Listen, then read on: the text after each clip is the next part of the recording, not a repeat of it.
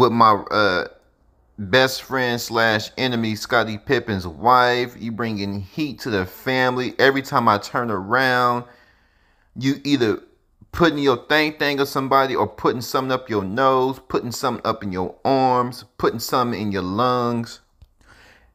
And this is why a lot of poor kids hate. 250 Gemstones culture represents a nation of people that strive for excellence and greatness every single day. We are more than journalism, we are a revolution. Come on, come on, let's kick this door down and let everybody know we up in here. Welcome to the 250 Gemstones News TV channel. I am your host, Michael T. Porter, and I'm bringing the news to your ass like no other. This is a channel that represents a nation of people that strive for excellence and greatness every single day. I have another bomb news segment for y'all, but before I begin, y'all hit that like button, that subscribe button, that share button. Hit that notification bell, and if you guys like to support the channel, cash out dollar sign Michael US. Join that membership, support your boy. Also, check out my Spotify podcast, the 250 Gemstones Culture Podcast. Link is in the description. Y'all stay and watch the whole video. We need to talk. Marques Houston was in uh, out there in France, right, with some nose candy, snorting, snorting, snorting, all in public with his girlfriend Ashley Stevenson, this IG model, right? Big old breasts is. I like to grab one if it doesn't work out between them.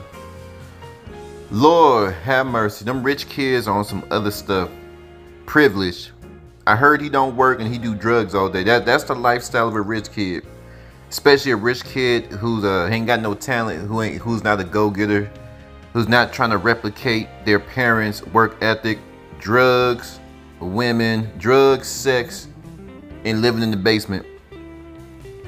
Now we're gonna say alleged because we don't know for sure, but I know for sure because this nigga look he looks happy. He looks.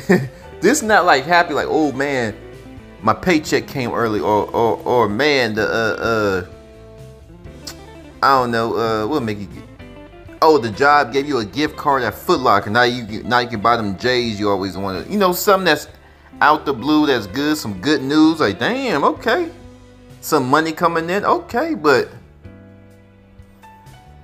I don't know. I believe this is uh straight from Colombia. He put that Colombia up his nose.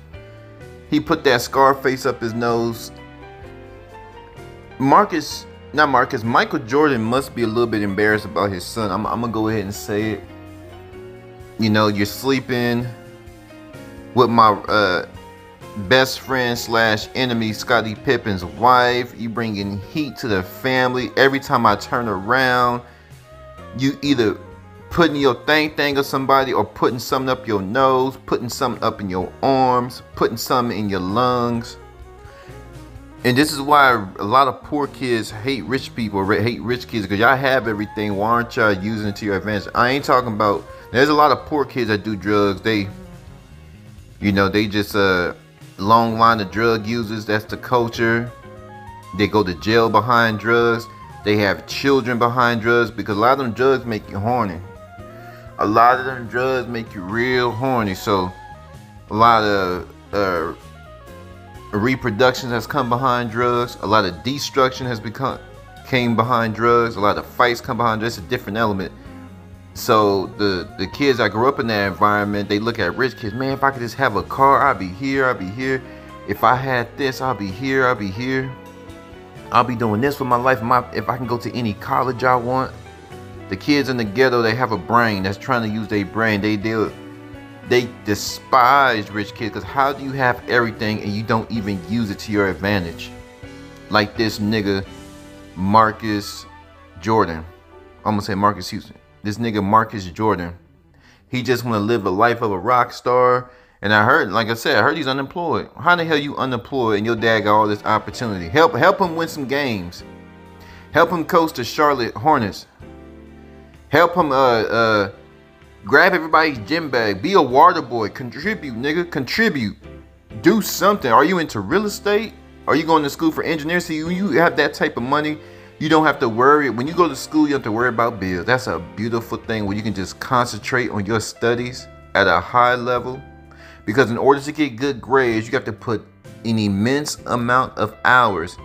You have to get tutoring.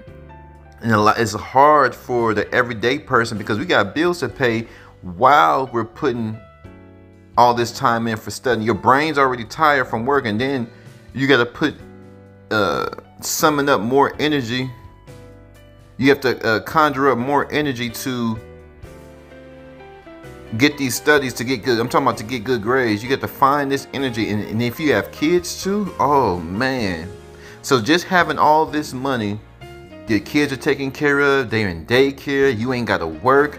You can just get on with life quickly. Y'all flood my comment. What do y'all think about this nigga, Marcus Jordan?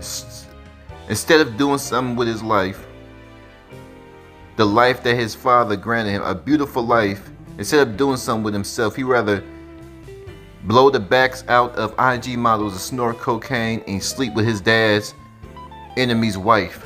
That's what he doing. 250 capital G. I'm gone.